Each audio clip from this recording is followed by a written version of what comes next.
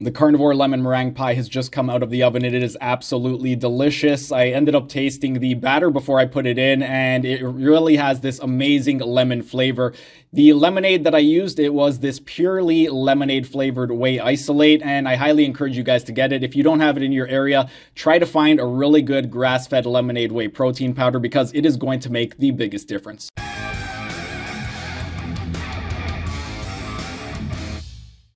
Hey everyone, thanks for tuning in and welcome back to another episode of Carnivore Kitchen. Steven here with Team Youphoric and today I'm going to show you how to make these beautiful and delicious lemon meringue pies and all we're going to need is either a hand mixer or a stand mixer. And what we're going to do is we are going to want to take 10 whole eggs, 500 grams of cottage cheese, 120 grams of lemon juice, 120 grams of grass-fed lemonade whey isolate, 50 grams of beef gelatin, 20 grams of sugar-free, fat-free lemon-flavored gelatin, and 1 tablespoon of xanthan gum, and stir it in a bowl before mixing to avoid making a disaster in the kitchen.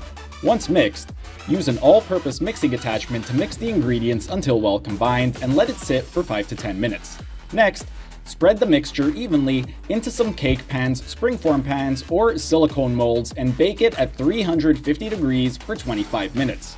When there's 7 minutes left, Get started on your meringue by using your whisk attachment and taking 500 grams of egg whites and whisking on medium speed until foamy.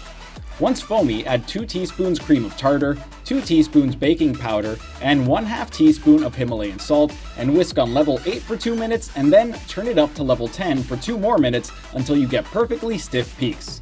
You'll know that you have stiff peaks when you can turn the bowl upside down and place it over your head without the egg whites falling onto your head. Take the lemon base out of the oven and top with the meringue. If you want, you can even use a spatula to create that classic meringue look.